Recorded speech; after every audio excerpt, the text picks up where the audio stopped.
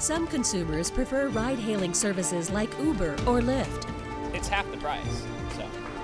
no. I mean, there's no other reason than that, honestly. While others think a taxi is better. It's very convenient. Is it more convenient to say like Uber or Lyft? I think it is. Ride hailing companies have staked a claim in an industry long dominated by taxis. Can they coexist? And what is government's role in this battle? Tonight's live broadcast and live stream of insights on PBS Hawaii start now.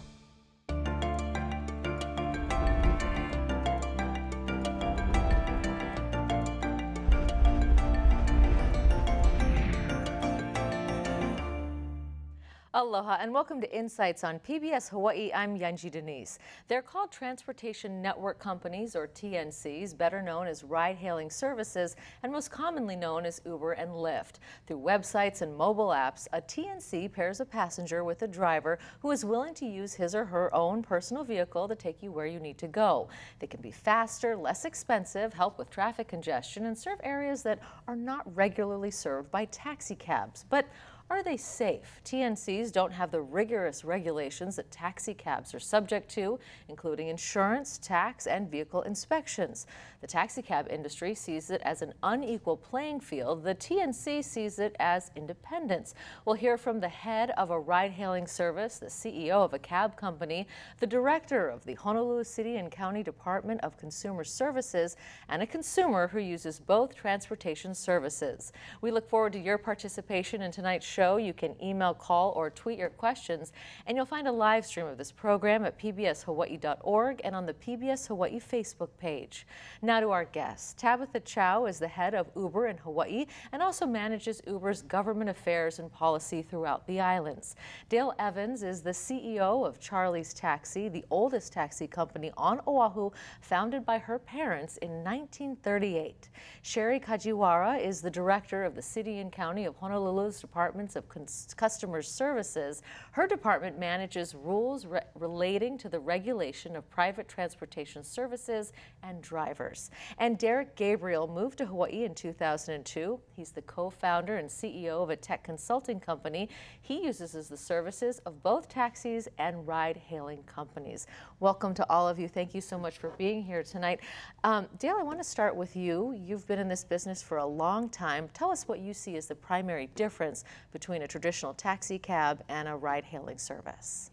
Well, the rules are different. The uh, requirements, we have been an open entry uh, uh, city, probably one of the few in the whole world, since December 6th of 1938. And basically at that time, they deregulated the medallions or the limitation of taxis. So we've been open entry ever since. The only rules that we had were about the driver and the car standards and basic operating rules against discrimination and overcharging. Tabitha, what do you see as the biggest difference between the two? Um, you know, I don't know if I would necessarily say that, you know, there's a ton of huge differences here in Hawaii. I would say that we're all part of a transportation ecosystem. I think that we provide another option to riders, and um, some people prefer to take, you know, ride-hailing services, as you mentioned, and some prefer uh, street hailing with taxi. Okay, and from the city's perspective, what's the difference? Well, we want to look at what consumers want to use. And then what we need to do is develop rules that make sure that it is safe and that everything is equitable. So that's the direction that we want to move toward. As a customer, what do you think is the difference? Depends on what time of day it is, depends on where I'm going uh, and if I'm alone or if I have other people with me. So there's a number of different factors. You know, there are people who are loyal to one over the other. Why do you choose both? Can you give us examples of when you'd use one over another and why that would be better? Yeah, uh, if, if, you're in the in the deep urban core, you know, if you're downtown or Waikiki, sometimes the taxi is much more available. You know, they're waiting in line at the hotels or restaurants. Uh, and other times, uh, I live in Salt Lake and uh, it's often easier for me to get an Uber or a Lyft um, out of there than it would be to wait for a cab to show up.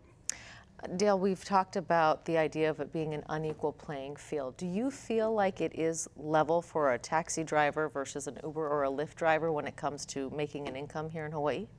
No, it's different. The, uh, in, in, as a matter of fact, the insurance law requires the drivers to have $100,000, $300,000 of insurance So it costs the driver about five or six thousand dollars a year, whereas the Uber and Lyft drivers don't have to have that kind of insurance. It's lower because the state legislature let them off. What would you like to see? How could we remedy that? Well, actually, you know, my main concern are the industry lobbied ma- basically for consumer protections. Insurance was one, the fingerprinting was another, the doctor's examination and the lab test was another, and then the um, price gouging was the other.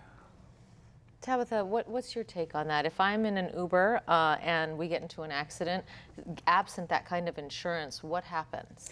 Uh, yes, so to clarify, the, um, the insurance that Uber drivers have available for every single trip from start to finish is actually a million dollar policy. So it's well above the, the taxi cab limits here in Hawaii, and that is uh, dictated and controlled by state law. So there is a state law in place that we, we do abide by, and it's a million dollar policy. So how does that actually work? If I'm an Uber driver, do I need to disclose to my uh, to my insurance company? Do I need to call Island Insurance or State Farm or whoever my provider is, mm-hmm. or is that done through through Uber itself?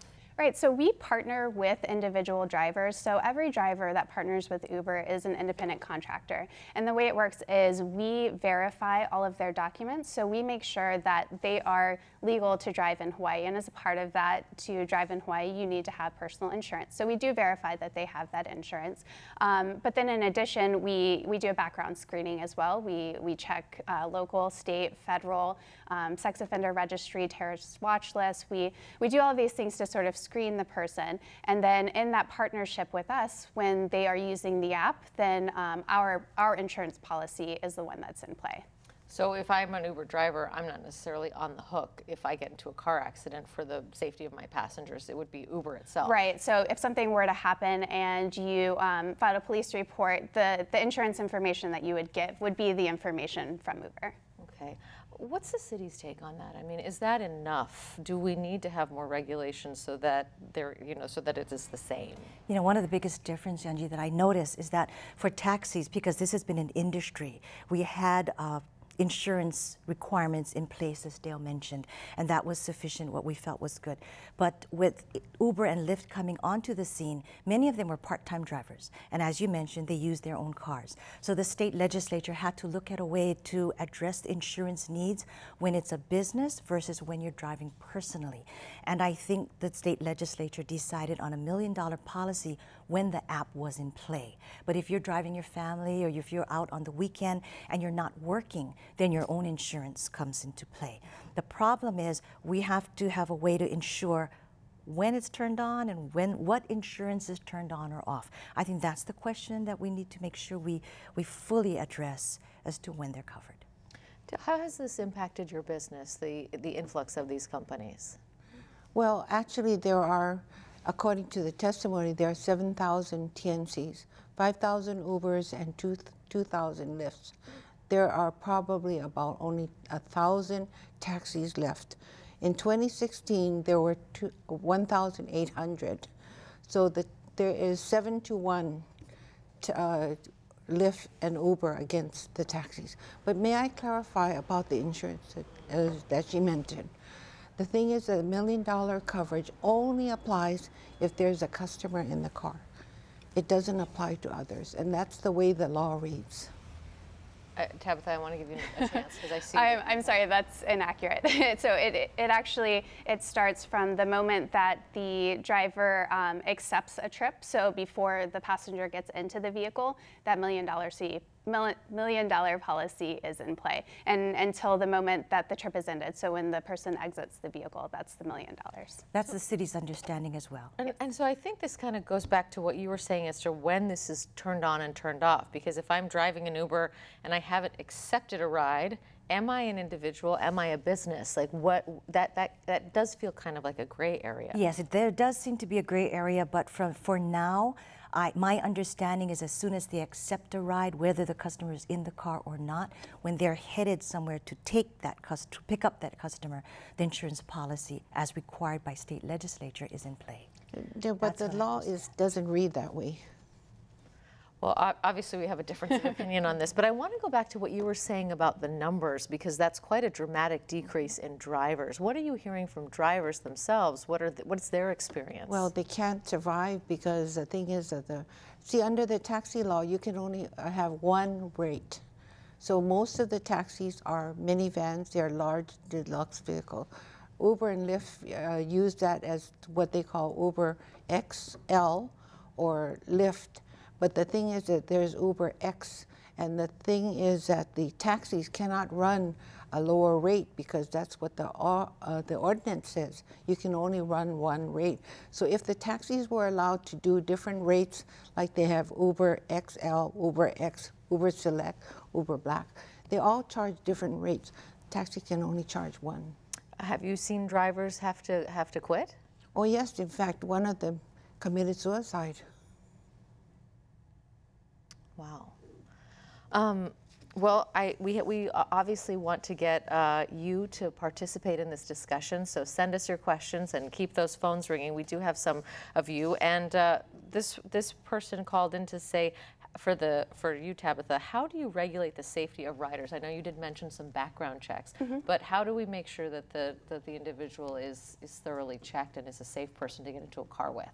Absolutely. So in addition to the background screenings, you know, that's something that happens before the ride. So we take safety um, as something that's not something that happens only during a ride, but it should happen before and after a ride as well. So there are several things we do there. Before the ride, there's things like the background screening to make sure that the driver that you're getting into this vehicle with, uh, we do annual background checks on that person, and those are according to uh, city ordinance that we have. They're the same as the, the taxi ordinance as well. Um, and then, you know, while you're on the trip, we have features, and we're constantly building new features based on feedback, based on things that people just say they'd like to see. Uh, one of my favorites is share your ride. So if I'm in a vehicle, I can share uh, my GPS uh, information with my mom, and I can let her know when I'm going to be home so she can see exactly when I get home. Um, I can also, during the ride, I can contact support. We have an easy link to contact 911 if you ever have an emergency and you need that quick access.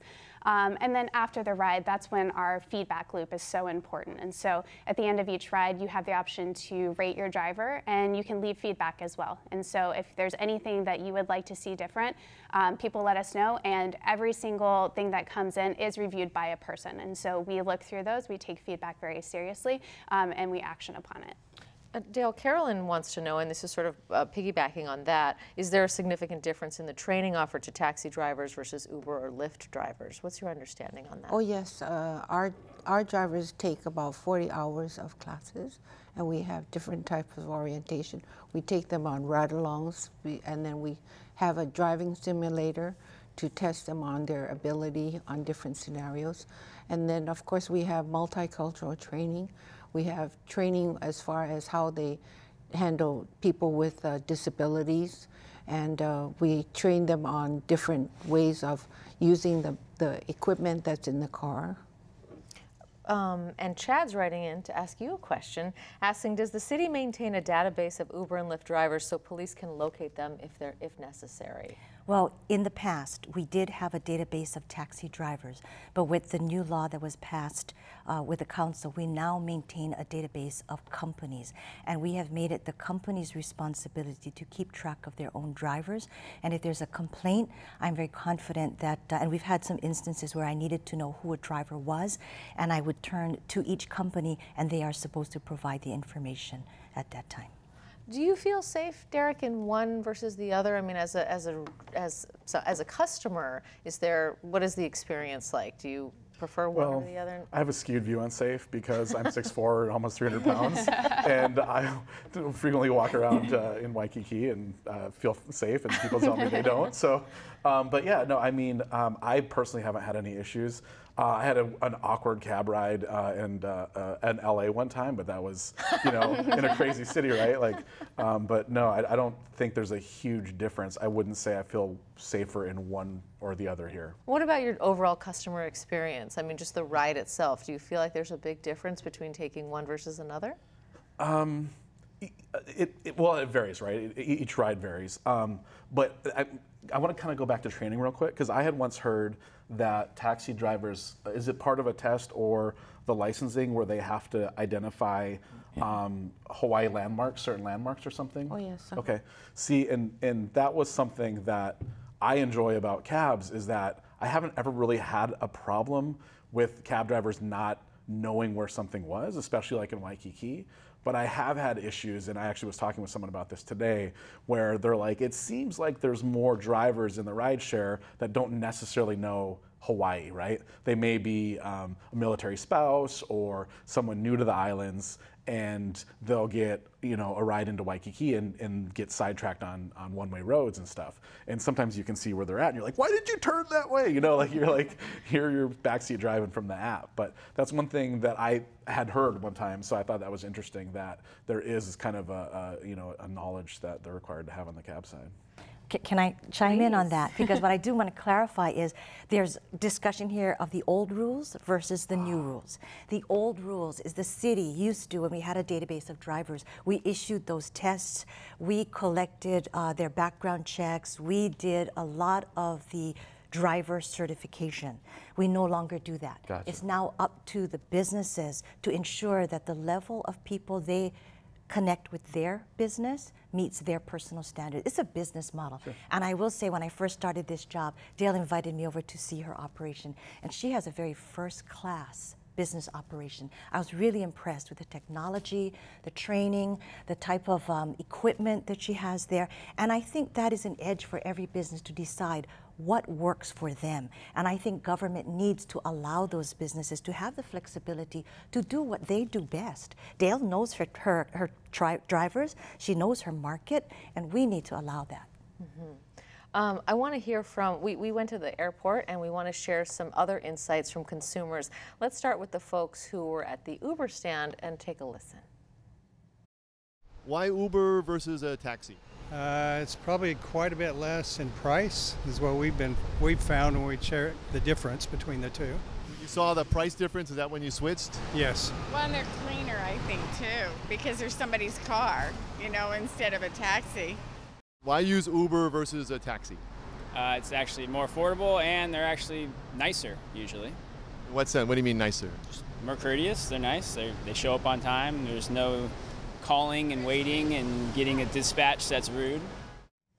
Okay, and in the interest of fairness, let's go straight to the folks who prefer a taxi over an Uber. Let's take a listen. I use a cab when I have to get somewhere quick out of an airport. It's very convenient. Is it more convenient to like Uber and Lyft? I think it is because you just walk right out and there's a cab stand. There's a guy here who's telling me where to go, and he's telling me where to go right now. Okay. So, gotta go you know, so it does come down to customer choice, to convenience and versus price. When you hear those kinds of comments, I mean, can your drivers compete? Yes, we can compete. The difference is that the quality is different. Like in the taxi, the law says that you must take the shortest, most direct route. So when he says the taxi driver knows, it's because that's the law. The Uber and Lyft drivers don't have to follow that. They use the GPS, but the GPS is Everyone is different. The GPS routing is not accurate. It is not like a taxi meter. It does not comply with the same way that the taxi drivers drive. Shortest, cheapest route. What's your response to that? Yeah, so I think um, one of the benefits of uh, taking an Uber is upfront pricing. And so uh, in the very beginning, you can see exactly how much you're going to pay for your ride. And you know, the routes can maybe be a little bit different, but it's up to the consumer to decide, is this a fair price? And, and the prices are calculated based on our best guess of traffic, of, you know, the direction of where the person is going. And uh, we will, after the fact, if there is a, um, I believe it's around 10% difference um, in, in what we expected um, at the end of the ride. So if we thought, um, so let's say that you, you know, it looks like your driver may have taken a long route to get where you were going. Uh, we will on the back end adjust. What's your response to the idea that um, that the, the drivers for taxis they know more about Hawaii, that you might have a, a more you know a richer experience if you take a cab? Is there a way for Uber to incorporate that kind of training so that drivers would be able to kind of match that level of service? Definitely. And, you know, I think we heard earlier, it really depends on the ride that you have. And I think that, um, you know, some of the, the people that I hear that take Uber, they love the, the hospitality they get, the aloha spirit. And, you know, they'll often say that it felt like I was on a trip with a tour guide. He knew the best places to go get lunch. He knew exactly which beach I should go to. So I think it varies, you know, on your experience. Um, but I do think that there's also a, a really large overlap between the drivers. So, uh, you know, Dale uh, works with independent contractors, as do we. And so there are a lot of drivers who do both. And so we do have uh, taxi drivers on the platform. We actually have taxis on the platform. So you can get an actual taxi with the dome, with the meter, all of that, if you'd like, as an option on, on the Uber platform. Um, and then we also have taxi drivers who have converted. So they've gone from being a taxi driver for 20, 30 years, and they're now using UberX. So they're now using their personal vehicle. They're now instead using Uber as their platform. Do you think there is room for both? Oh, absolutely. I think, I mean, I mentioned it earlier. I think we're all a part of a transportation ecosystem. There's a lot of ways to get around Honolulu, and I think there should continue to be a lot of ways. And people have their preferences, and we think it's about consumer choice. I see you wanted to jump in. I do. I do, do. yes. Because uh, what I want to ask is your experience in riding cabs and having uh, or riding Uber and Lyft, and they are like not from there or visitors that are working. Was that here locally, Yeah, or was that yeah. outside? Yeah. Because one of the requirements that is within the state of Hawaii is that you have a valid Hawaii driver license, and so you shouldn't be driving if you are Well, I'm- here I'm for a week or certain two. they had Hawaii driver's licenses, but in, in there's a couple situations where I actually asked. I'm like, oh, so are you, you know, are you from here or are you new? And one person actually said she was uh, new to the islands, had moved here, and purposefully was driving so she could get experience finding her way around the island, which I actually thought was kind of neat. But of course, I was the one that had to deal with that. so you do have to establish residency. You do have to go through the process of getting a Hawaii driver license and all the documentation and residency that that requires. So many, I would think, of our TNC drivers need to be local. Right. So we do verify that they have Hawaii State driver's license. So for the ones that are new to the islands, they do have to go and get the new Hawaii State driver's license. But that is a requirement by law, and that's something that we make sure. Um, Catherine from Mililani has a question for Dale and says she wonders why Uber and Lyft can tell a rider the exact amount of the ride before pickup, but taxis and cabs won't give the total amount until drop off. Why is that? Well, actually, the taxi, if, even if they call, the dispatcher will give them an estimate. Just like Uber and Lyft, they are giving estimates. Okay. Um, this this was interesting too. Uh, Deborah wants to know how does Uber explain its fares only covering 41% of Uber's operating costs as anything other than predatory pricing? Uber touts itself as a way for people to make good money, but it's also working hard on driverless cars. What happens to drivers then? Um, so I will say that in Hawaii, we are a profitable business. This is a long-term business. The, you know, the pricing that we're at is absolutely sustainable, and it works here in Hawaii. When you see headlines about Uber has lost, you know, X amount of money, that sort of thing, that's really because we're investing in other parts of the business. So, you know, Uber is a platform for rideshare, for bike share, for scooters, for all of these things around the world. Um, but we're also in autonomous vehicles. We're also doing autonomous freight. We're, you know, we're interested in a lot of different sectors, and so as a part of that, we're investing in those businesses. Uh, our rideshare business, however, is a different story. That's generating a lot of the funds to fund these new technologies, these new innovations, um, and in Hawaii, we are profitable. Tommy uh, wants to know. Uh, do, does Charlie's? I know that Charlie's does fingerprinting. Does uh, do they also do background checks like Uber and Lyft? What kind of safety precautions are for there in place in terms of the driver? In addition, well, the difference about the uh, our fingerprinting is that it's not based on names, alias names. Uber and Lyft do not go by fingerprinting; it goes by names. So it's not accurate as far as the driver's background. We also require the FBI background check to find out their uh, their felony histories. Okay. Um, I know you said that safety is not a concern for you. Just as a consumer, do you think that there is enough room in this market for both? oh, absolutely. Explain that. And bring on the robots. Like, bring on those driverless cars. I'm, I'm a technologist. I, lo- I love the artificial intelligence, but ultimately, as humans, we kill each other. You know, we're uh, I've statistics anywhere from 20,000 to 40,000 people a year die on the roads. You know, so um, didn't mean to hijack that question, but ultimately, we're all trying to get like the auto manufacturers are trying to make safer cars. We're, we all want you know to be safer. Right. Um, what about this idea, though, that there, there, are too many drivers, that, you know, the market is oversaturated with people who are participating, and so you have the kind of figures that Dale was saying, that, you know, you have people who have to quit being taxi drivers, um, or there are people, you know, who do this on the side, but that mm -hmm. there are too many. How many drivers do you have right now? Um, so there are a few thousand um, across the island. So we are not only on Oahu, we're also on Maui, Big Island, and Kauai as well. So um, across the islands, there are a few thousand drivers. The nature of Uber, though, is very part-time. So for most people, it is a part-time thing. And so when we say thousands of drivers, that's not necessarily at one time. You know, that's just maybe a few hundred drivers, and and also I will say that our utilization is very high. So when you see, uh, when I say that there are a lot of drivers, we have a lot of drivers who are on trips. And so last year we completed more than 4 million trips just in Hawaii. And so, and then around the world, we're completing 15 million trips a day. So it may seem like there's a lot, but, um, or a lot of drivers on the road, but there are a lot of trips that are happening. Um, and then, you know, when you talk about the number of taxi drivers versus the number of Uber and Lyft drivers, um, some of them, like I said, you know, some of them have converted. And so, you know, when you say that there's, uh, there's been a decrease in taxi drivers, I know firsthand of several drivers who used to be taxi drivers that are now exclusively doing Uber or Lyft. And that's because you know they don't have the same overhead costs with, with Uber as they do um, maybe with a traditional taxi company. They're not paying money into us. Uh, they're not, you know, they're already paying for their vehicle. It's their own personal vehicle. Um, and so yes, many prefer it. Four million rides. Yes. You know, that's good news for your company. When you hear that, what goes through your mind? Well, I kind of surprised because we do about 2.5 or 3 million rides. So if she's using, the, the thing that you can see is the congestion in Waikiki, especially in all the tourist spots. So, but the thing is that because they're using part-timers, it could be that they're just focusing on the tourist traps and that uh, their rides is not that much considering there are thousands of drivers. Do you have a breakdown in terms of how many of the people that are using your services are locals versus uh, visitors? Well, we have, because of our higher standards, we have a lot of corporate accounts.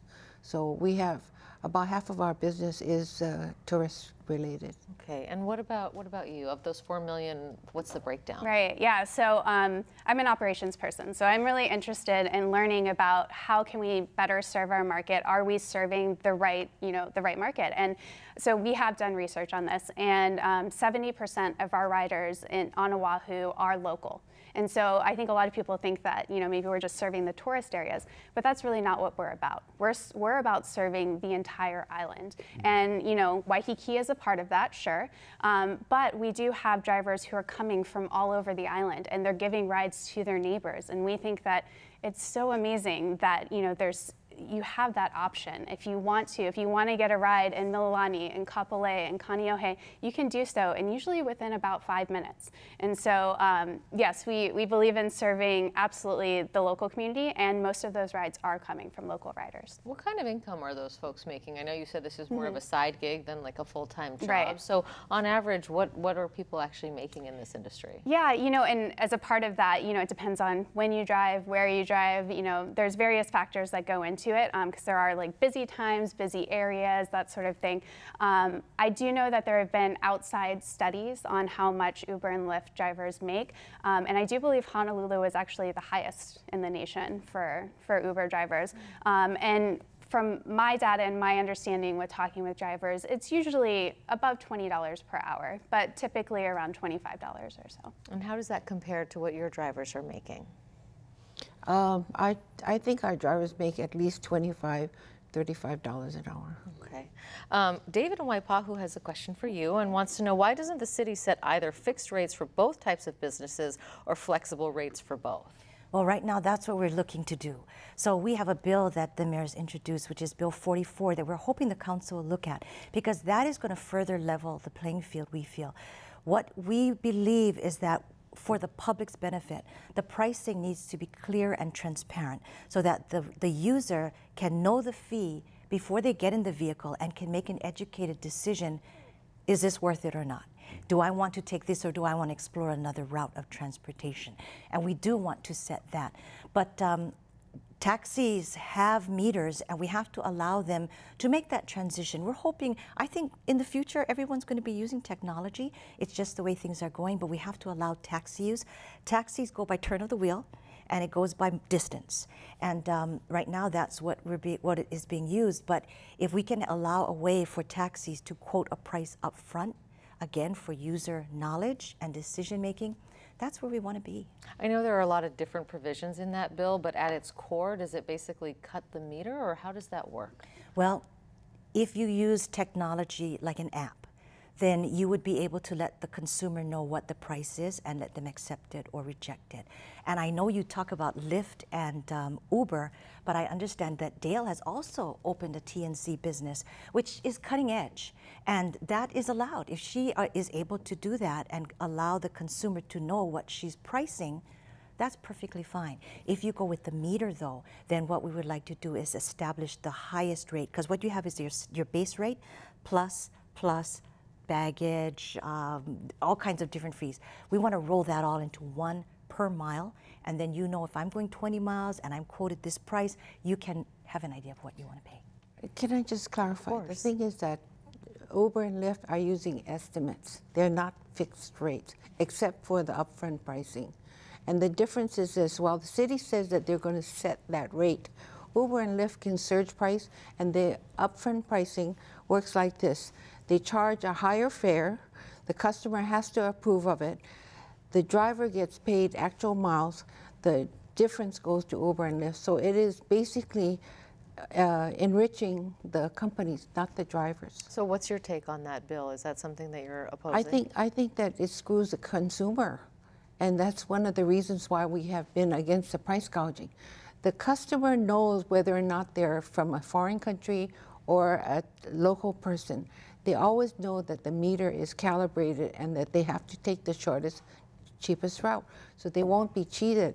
The other way that when you're doing surge pricing and upfront pricing, there's a lot of padding in there.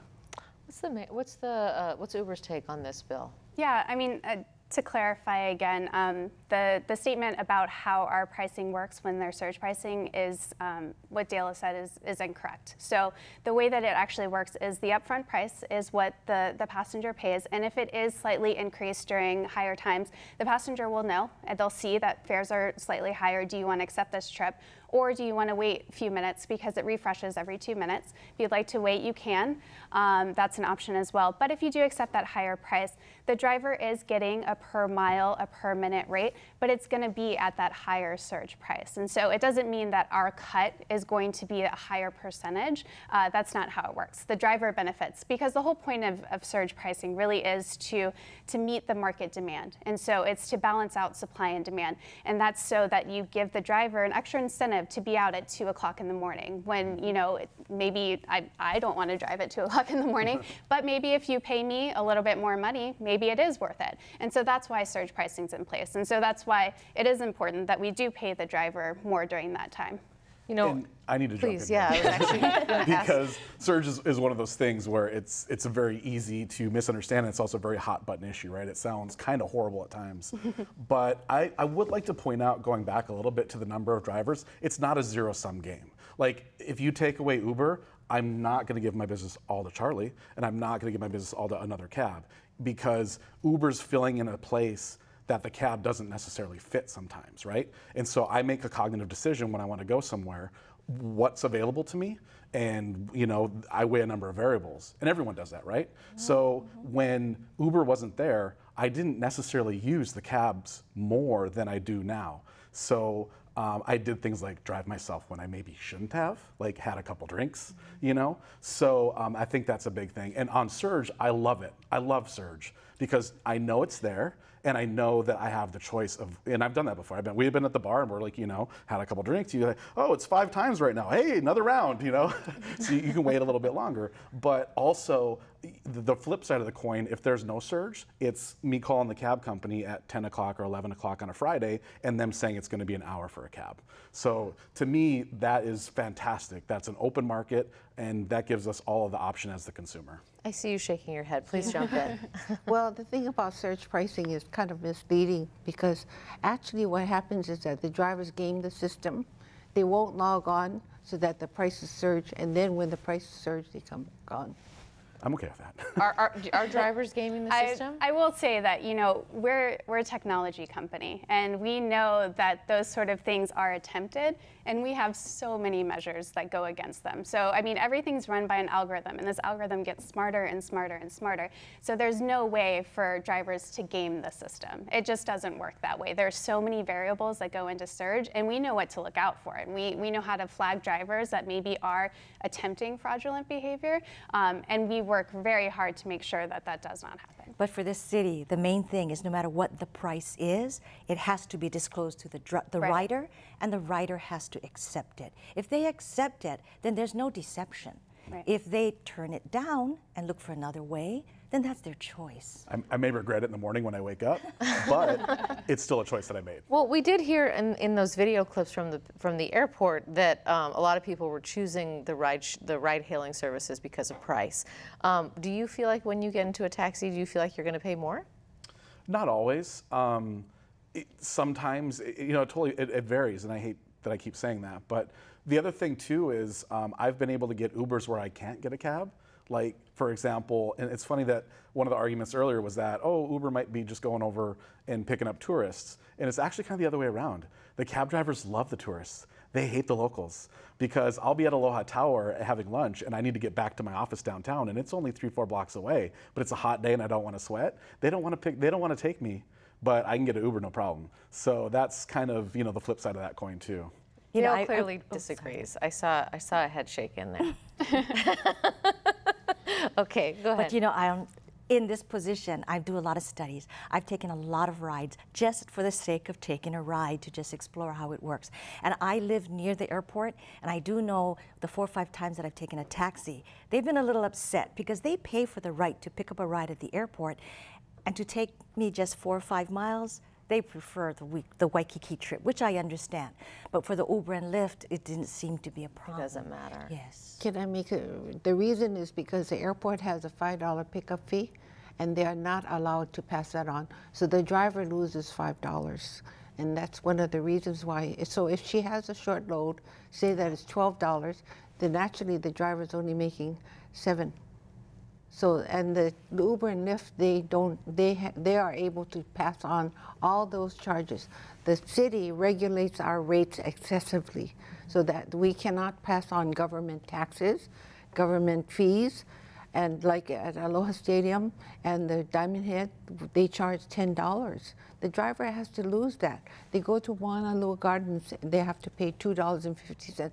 Every time they do that, they lose out because the, the ordinance does not allow the drivers to pass on the cost of business, the cost of fees and taxes. That's a really good point. I would love to say mm-hmm. this is why 44 exists. Because when I first met Dale, she explained that to me. And you know what? That makes a lot of sense.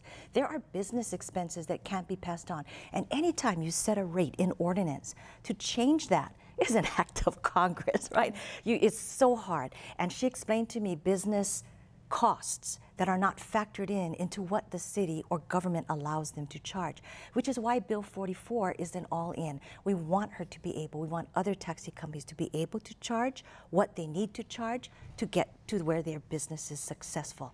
Bill 44 allows for that. I know you disagree with that, uh, that Bill 44 may not be the solution. If it's not Bill 44, what's a better way to regulate this so that you guys are all on the same level? Well, the thing is that I think one of our basic things is the cons consumer protections.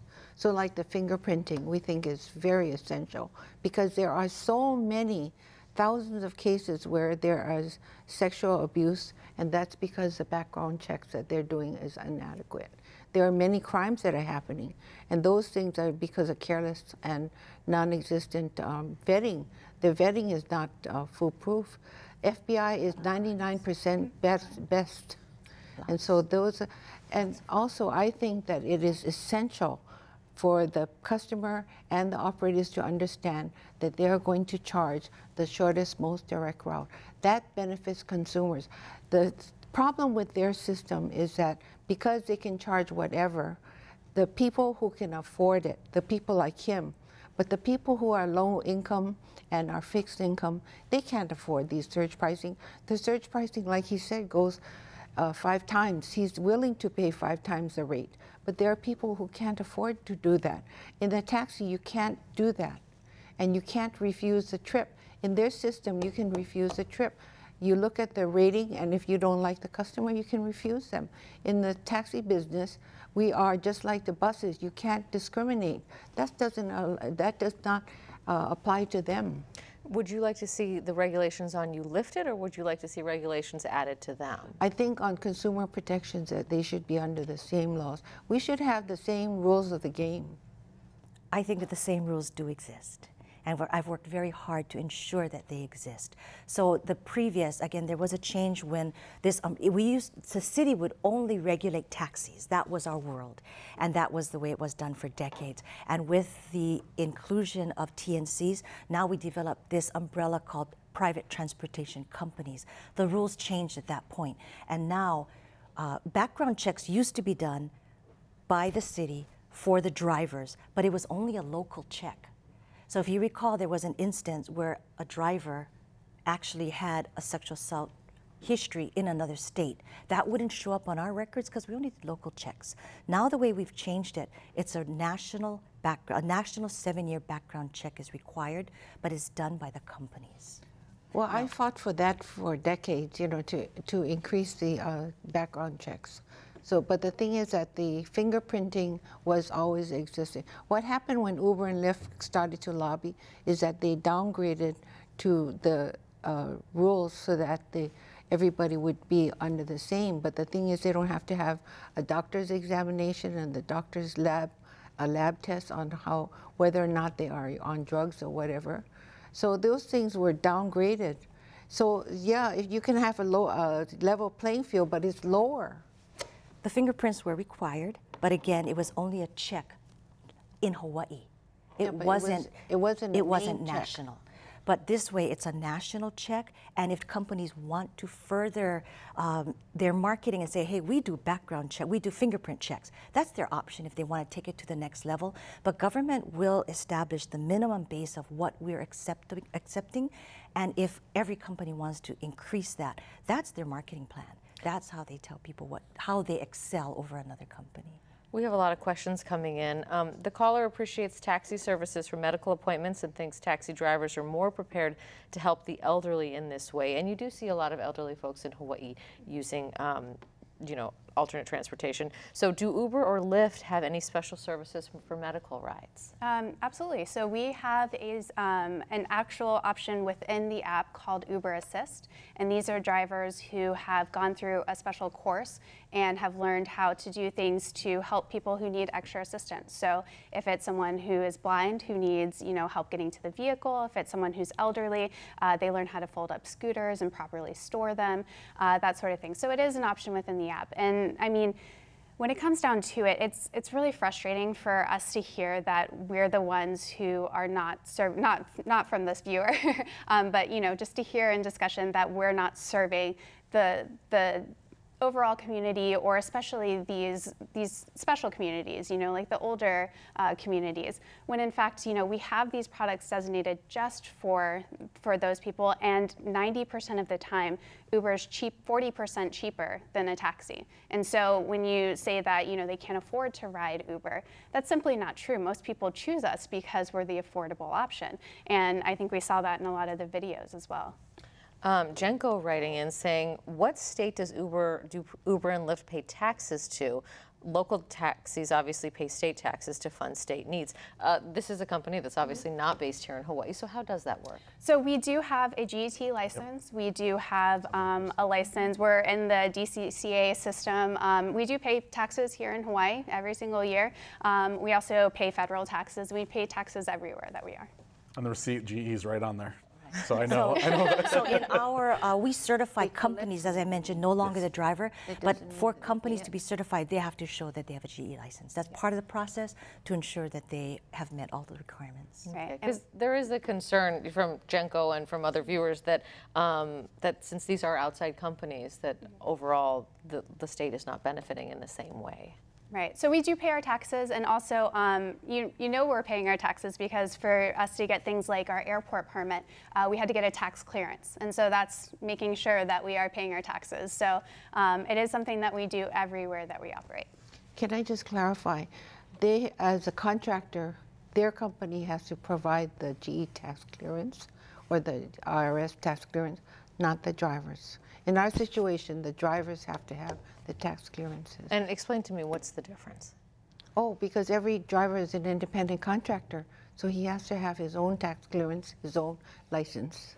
Okay. So when they go for the uh, for the airport permit, only the company provides the tax clearance, not the drivers. Right, so I'll clarify, the city requires that every company has a GE, a general excise tax clearance. And they, so Uber pays, Charlie's pay, but it's up to them to ensure that their drivers also claim their income and pay their excise tax, their income tax based on their earnings. So that's the company's Kuleana to do that. Okay. Um, I hate to pile on, but we're getting Yeah, so many sure. questions for you that I want to ask. So Chris in Let's do it. Honolulu wants to know how ride-sharing companies compensate for traffic and delays since cabs can keep their meter running, but obviously you've estimated the ride ahead of time. So Right. if they run into an accident, too bad. Right. So, I mean, it, and it's not a too bad situation, and as far as we're concerned, um, you know, we do have the upfront prices, and if anything at the end of the ride, so say you get into, um, or you get into this really bad traffic that we did not anticipate. Um, taking it back a step further, actually, though, we as a technology company, we're constantly gathering information about the cities we're in, and so we know that at 5 p.m. that's rush hour in this very specific area. We know that the last 100 trips in this area, the average time it took was this amount. This is, um, and so we factor that in into the upfront price. So we try to take that into account. You know, in the, the, the times where we can't predict, you know, where there's traffic caused by an accident, if the, if the trip does go, say, 30 minutes longer than we expected, um, there is a, an, an option for us to um, so if the if the fare is like a certain margin outside, we may contact the rider and say, hey, this trip was longer than anticipated, and so um, this trip is actually going to cost a little bit more. Or in the more likely case, when it's out of their control, we eat the cost there. So then the drive would the driver The get more driver is money? always compensated for miles and um, distance, or So- I'm sorry, for distance and time. So let's say the driver thought they were going to make ten dollars for this ride, Mm-hmm. um, but it took twice as long. Do they then get twenty dollars, or how does that work? Uh, they'll get they'll get whatever time they spent on the ride. And so oftentimes, um, you know, we sometimes will pass it back along to the rider. We will let them know that hey, your fare has changed just due to the the change in the distance or time. I'm sorry, the change in the time in this sort of instance. Um, but oftentimes too, we will eat some of the costs there. So I'd like to ask a question because I know you eat the cost if it goes over, but if you do contact the, the passenger and say, hey, passenger, this ride's going longer, it's going to cost more, if they accept it, fine. What if they don't accept it? What? Um, you know, then that would be something that would go straight to our customer service department. And at the end of the day, we're a business and we want to make sure our customers are happy. Our, we want repeat customers. And so there's a very likely chance that we would make sure that customer was happy at the end. but if they day. say no, do you make them get out of the car? Oh, no, we would never. you finish the ride, Absolutely. but then they'd have to pay that higher rate and then Um, settle it later. Right. So I mean, you- yeah, if they if they didn't accept the fare, then that's something that our customer service department would deal with. We would never, you know, abandon someone. Okay, good. I just Can make a to make point sure. about the, the, re- their fares? They say that we don't have, but we, the taxis have long, for decades, had flat rates. So we have flat rates no matter what is the time of day. It's always lower than the meter. Mm. Our rates are always lower than the meter. Right. So the city ordinance does allow taxi rates, taxi cabs to charge a certain flat rate fee, but they must run the meter. And it has to be less than what the meter says. Mhm. So they can't charge a flat rate, run the fee, run, run the meter, and if the meter says less than the flat rate quoted, they can't charge that flat rate. So it's whatever is the lower price. Yes. I Mhm. see. They have that option. Oh, I did not know that. Didn't know that either. Um, that's good to know. Yeah. Chase from Salt Lake has a question for you, Dale, asking Since the ride hailing companies have proved successful here and around the world, why doesn't the taxi industry change their business model to be more like the ride sharing companies? How easy or difficult is that to kind of try to adapt? Well, like I said, it, it basically is on the consumer protections. As far as the technology, my technology exceeds uh, Uber and Lyft's. So we have better technology, we have more technology, we have safety and security technology. We have cameras in the car that will protect the customers and the drivers. And if something happens in the car and uh, the customer has either a domestic dispute or is having a health issue, radio turns on, they don't they can't hear it but the dispatcher can hear and the thing is that we can contact the police or the uh, ambulance and then they can help I love the cameras in her cars. I mean, that's such a good feature to keep both the driver safe and the passenger. That it is a good feature, and that is a marketing for her company. Mm-hmm. It's something extra. It's not something that the city requires, but it's something that they offer, and it's a wonderful thing. ultimately a camera's not going to stop someone from physically harming you. A cam- you know, when we deal with surveillance systems for you know businesses and other people, a camera is there for litigation purposes. at the Right, end but I, I will share this that one of my, my beliefs is the system for technology is the ability to pay for your ride with no cash. Mm-hmm. And I think one of the problems with taxis is having an amount of cash in the vehicle encourages that crime element. And I always worry about our taxi drivers. And if I think some of use some of them use credit cards now. Oh, they are. They- yeah. So if more cabs used cashless, See, and that's, that's a hot button issue too. Well, the problem with that. True for the rider. Yes, because a lot of times the cab drivers will try to force us to pay cash because they're avoiding fees or taxes, maybe. Under but, the table, you're saying? or- Yeah. So uh, and that was a big issue I had before Uber existed here. I would call up and say, "Hey, I'd like a cab to go to X, Y, and Z, and I need one that takes credit cards." And they'd say, "Sure, no problem." Da da da. And then the cab driver would be like, "Can you pay cash? Can I take you to an ATM or whatever?" And there's a few times where I just didn't want to argue. I'm like, "All right, whatever." But there was one time where I literally didn't have cash. You know, I had a credit card, and I actually called the dispatch while I was in the cab, and I said, "Hey." I said I needed a cab that takes credit cards. And the dispatch lady said, yes, all of our cabs take credit cards. And that's when it was kind of like, well, what does that mean?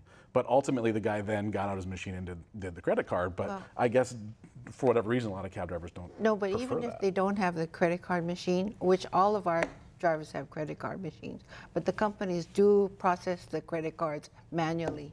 So they call, just like if you go to a store and the credit card doesn't work, they can do the manual. So they do. And the thing is that the problem with their kind of system is the credit card has to be present and you have to authorize the amount of the charge. In their kind of system, they're automatically charged and the customer has to then call and dispute it after the fact. Another thing too is that their kind of system is subject to hacks. When they when they use a credit card in our system, it's not stored, so there's no hacking. Okay, we have just a few minutes left, so I want to give you uh, each like one final thought. Um, you know, just going back to sort of the premise of the discussion is can these companies coexist? Obviously, there are a lot of differences of opinions between all of you on this very hot topic.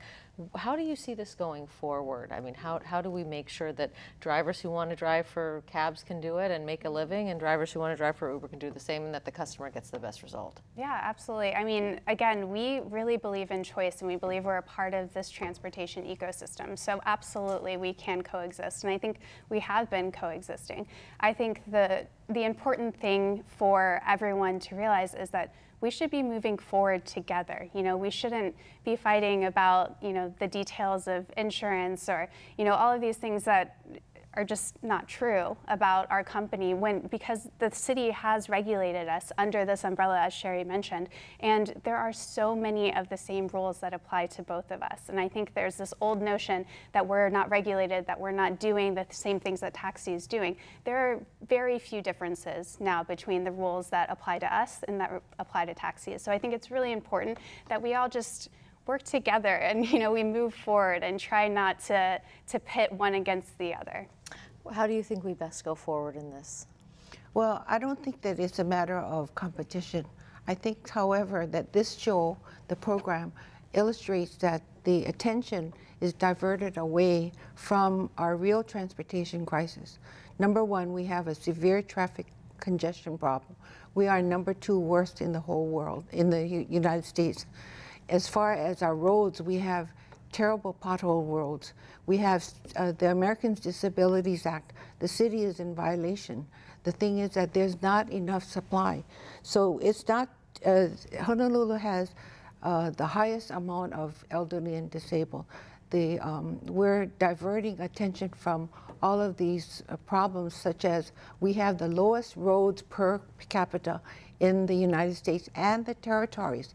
There are many transportation issues that are being buried because of this kind of discussion. Okay, we have just a minute left. I want to get to both of you. So very quickly, how do you think just we quickly, best the move one forward? the biggest thing to us is to ensure there's clear and transparent pricing for the consumer and a level of safety and security for the companies to offer. But one thing I want to say is I have not received one complaint from a driver in the last, I'm sorry, from a passenger in the last year. However, I have had a lot of discussion with drivers that are complaining about harassment from other Uber or taxi drivers. So it's sad for me because we live in the same community. We need to learn to work together and live together. So I'd love to see a little more cooperation, a little more tolerance.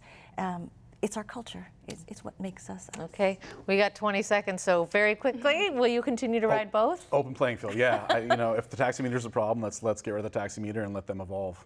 All right, well, we're going to have to leave it there. Mahalo to all of you for joining us tonight. We, of course, thank our guest, Tabitha Chow, head of Uber Hawaii, Sheri Kajiwara, director of the Honolulu City and County Department of Customer Services, Dale Evans, CEO of Charlie's Taxi, and Derek Gabriel, consumer of both ride hailing and taxi services. Next week, Insights takes a break to celebrate Thanksgiving, and in two weeks, we'll be back for a discussion about pedestrian safety. Join us for Dangerous Crossings. That's on November 29th. In the meantime, have a safe Thanksgiving holiday. I'm Yunji de Nies for Insights on PBS Hawaii.